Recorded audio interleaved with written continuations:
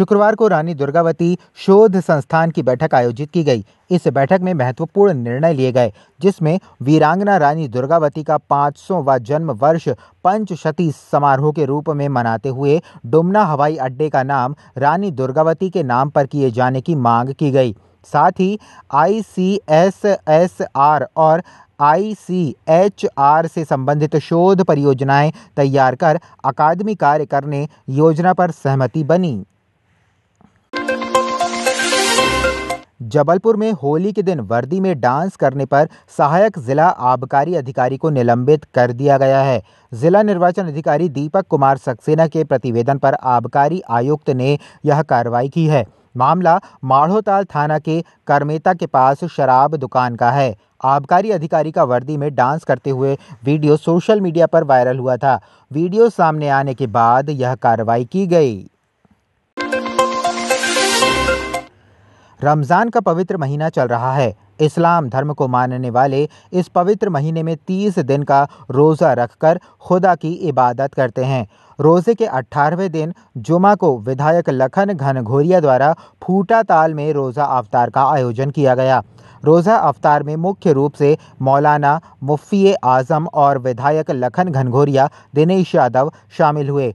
आम अवतार के बाद मुल्की हिंदुस्तान के लिए अमन चैन की दुआएँ मांगी गईं। हमारी संस्कृति परंपरा, कौमी जहदी, हमारे बुज़ुर्गों की धरोहर है जो हमको विरासत में मिली है। हमारे बुज़ुर्गों की ये धरोहर इसी जहदी के साथ कायम रही है ऐसा प्रयास सबका होता है।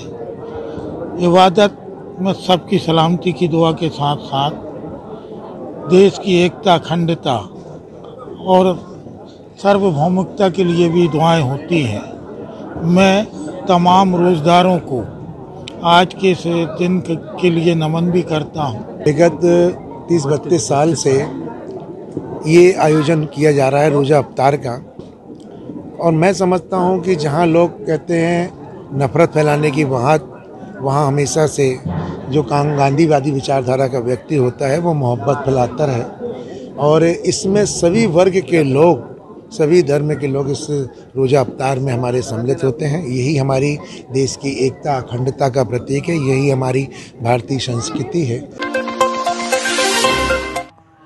आगामी दिनों में होने वाले लोकसभा चुनाव और त्योहारों को ध्यान में रखते हुए कानून और शांति व्यवस्था बनाए रखने के उद्देश्य से जबलपुर में पुलिस प्रशासन ने फ्लैग मार्च किया। पुलिस अधीक्षक आदित्य प्रताप सिंह के नेतृत्व में गढ़ा सीएसपी देवेंद्र प्रताप सिंह और थाना गढ़ा का बाल ने संवेदनशील क्षेत्रों में पैदल फ्लैग मार्च किया गया।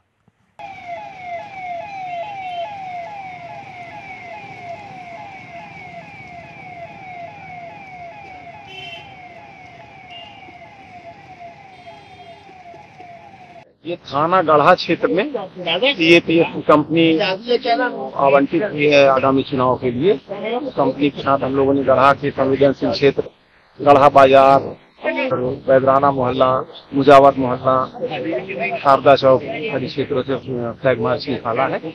आगामी चुनाव शांतिपूर्वक और निष्पक्ष संपन्न हो सके और जनता में पुलिस के प्रति प्रशासन की भावना जागृत हो फ्लैग मार्च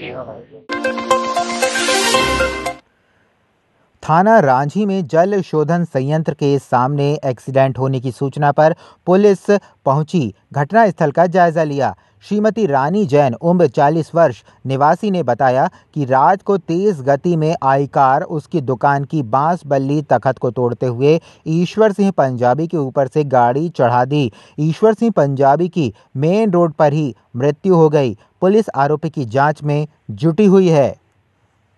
थाना प्रभारी रांझी द्वारा बताया गया कि आज बरेला से चार लड़के कार में रांझी की तरफ़ आ रहे थे कि जल शोधन संयंत्र के पास एक व्यक्ति फुटपाथ पर सोया हुआ था। उसके ऊपर वो ठोकर लग मार दी गई, जिससे उस व्यक्ति के मौके पर मृत्यु हो गई। पंचनामा मर्ग कर लिया गया है और पोस्टमार्टम कराया जा रहा है। कार जब्त कर ली गई है और पोस्टमार्टम रिपोर्ट के बाद कार चालक के खिलाफ वैधानिक कार्रवाई की जाएगी।